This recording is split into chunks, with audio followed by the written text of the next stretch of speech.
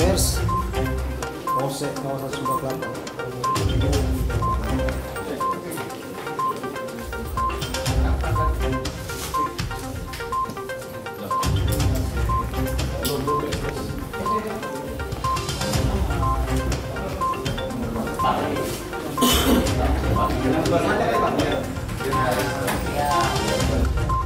Di sini tersangka dengan inisial Embol namun HP yang tersangka di rumahnya. Inilah BB yang ditemukan.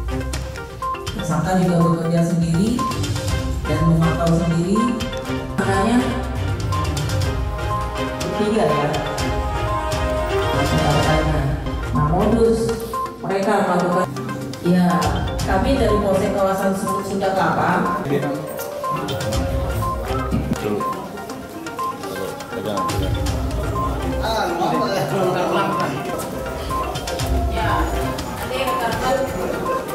premanisme ini adalah dengan melakukan pemerasan dilakukan oleh tersangka dengan inisial R. Ini kejadiannya dilakukan di Muara Angke. Pelaku melakukan pemerasan kepada pedagang ikan di pasar pelelangan ikan Muara Angke. Di sana tersangka melakukan pemerasan dengan mengancam apabila tidak diberikan dalam bentuk uang akan dilakukan pemukulan kepada korban. Korban di sini dengan inisial J. Di sini korban sudah memberikan sejumlah uang seperti apa yang diminta oleh tersangka karena korban takut dilakukan pemukilan karena korban mengetahui bahwa tersangka ini mempunyai banyak teman dan ya preman yang merangkil lah. Akhirnya korban melaporkan namun sebelumnya tersangka ini sudah melakukan beberapa kali perbuatan tersebut tapi korban-korban itu tidak ada yang berani.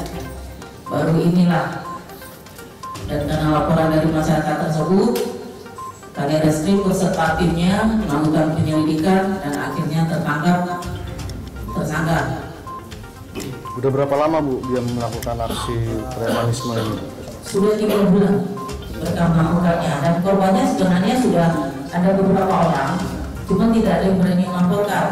Baru korban C inilah yang berani melaporkan karena eh, pada saat itu juga mungkin teman-temannya juga mengajak dan dan tim reskrim kita juga melakukan sosialisasi kepada mereka akhirnya mereka berani. Melaporkan